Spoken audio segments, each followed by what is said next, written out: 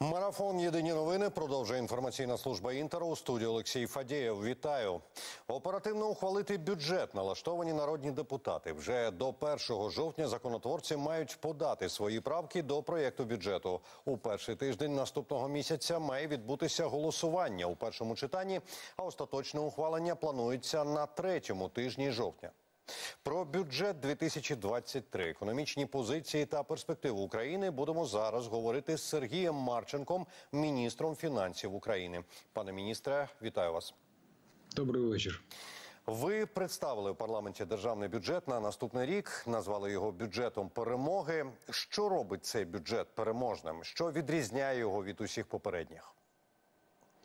Ну, в першу чергу, цей бюджет відрізняє тим, що він е, чітко сформував пріоритети. У нас е, пріоритет номер один це сектор безпеки і оборони і необхідність забезпечення його всім необхідним від грошового забезпечення військовослужбовців до необхідних е, засобів, обладнання і так далі. І на сьогодні сектор складає майже 18% ВВП в бюджеті. Тобто е, більше половини видатків, мов майже половина видатків будуть йти на сектор безпеки і оборони. Крім цього сектору, основні е, інші нагальні е, сфери, які ми забезпечуємо, це сфера соціальна і гуманітарна. Вона також буде забезпечена. Тобто, держава подбає про найменш захищених громадян, які потребують допомоги в цей складний період. Банально, але правда казати, що війна вплинула на, е, на економічний та фінансовий сектор України. От е, з цим е, зв'язано питання: як змінилися макрофінансові показники за півроку? З якими показниками заходимо в наступний рік? Ну, цей рік е, дійсно надзвичайно важкий. Очікуємо до кінця року падіння валового внутрішнього продукту близько 33%. Це краще ніж були показники ще озвучені в квітні-травні. Тоді ми говорили про інші показники. Але ситуація на військовому фронті і з економікою дозволяє нам сподіватися, що падіння буде нижчим.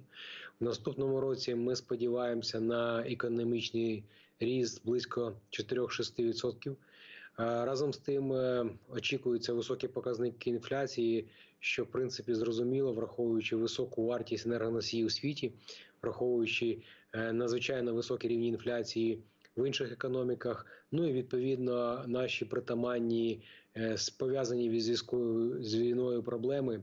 Тому ці показники на ці показники ми орієнтуємося і будемо забезпечувати мінімізацію цих ризиків в частині інфляції. Ну і сподіваємося, що нам вдасться виконати все заплановане.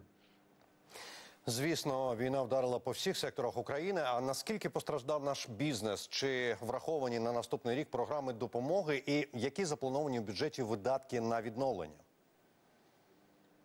Так, у нас е, цей блок е, є також пріоритетним.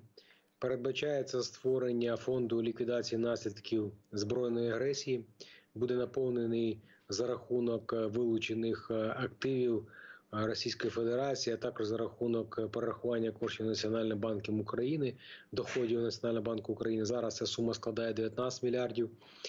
Далі це резервний фонд 17,3 мільярда, який також буде спрямований на ліквідацію наслідків. Крім е, цього, 16 мільярдів гривень буде спрямовано на програму е, компенсації відсоткових ставок, так звана програма 5.7.9 для бізнесу. Враховуючи високу вартість запозичень, держава буде компенсувати відсоткові ставки для бізнесу. І ще окремий напрямок це грантові програми, підтримка грантових програм для мікро і середнього бізнесу. Сума це мільярд 370 мільйонів гривень.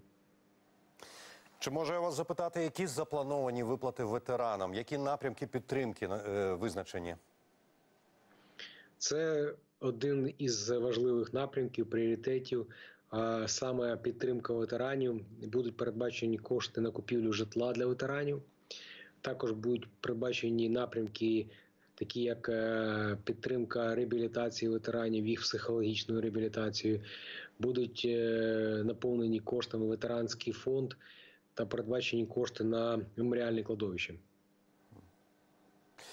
Якщо говорити про останні півроку, Наскільки вдалося подолати виклики війни? Які кроки взагалі були зроблені одразу? Які процеси довелося налаштовувати ну, якби, в походу, в процесі війни? Дійсно, це великий виклик, і е, на початку війни ми приймали зовсім інші рішення ніж зараз.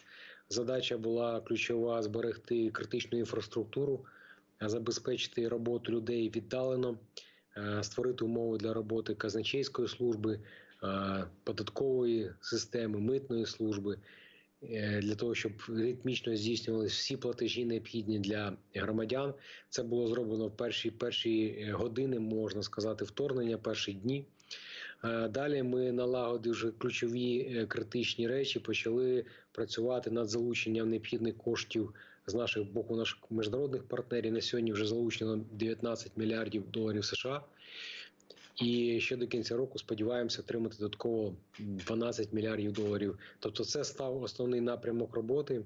При цьому е, ми поступово збільшуємо нашу податкову базу, тобто бізнес поступово оживає, відновлює свою діяльність і починає сплачувати податки, тому що сплачуючи податки, бізнес е, допомагає нам, е, допомагає країні виграти цю війну.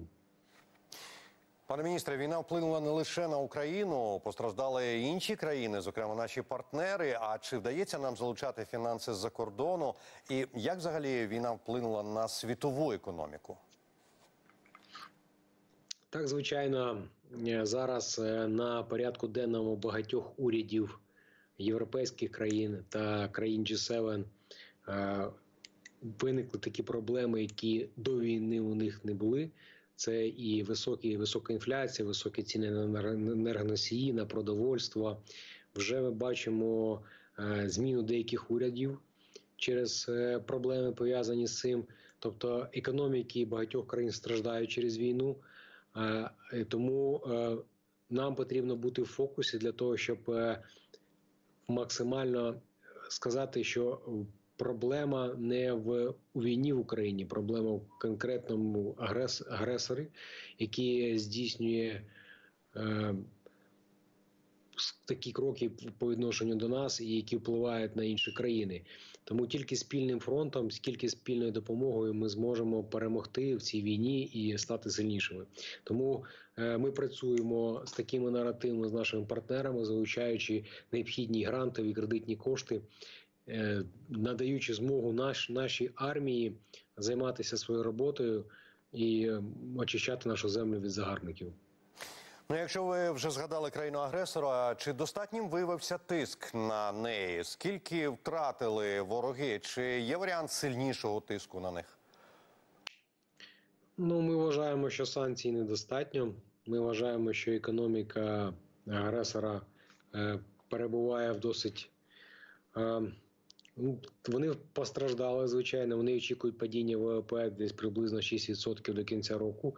Але ми вважаємо, що цих санкцій і заходів недостатньо, тому що за рахунок високої вартості енергоносіїв. Е, вони країна отримує надприбутки, які можуть використовувати в тому числі на військову кампанію. Тому, звичайно, додаткові санкції, додатковий тиск, е, прайс-кепи, ембарго дозволять нам максимально е, стати єдиним фронтом, і е, як на економічному полі, так і на е, військовому. Пане міністре, я вам дуже дякую за цю розмову, за ваш час і, звісно, за вашу роботу. Це дуже важливо. Дякую вам. Дякую. Це Сергій Марченко, міністр фінансів України. У нас на зв'язку.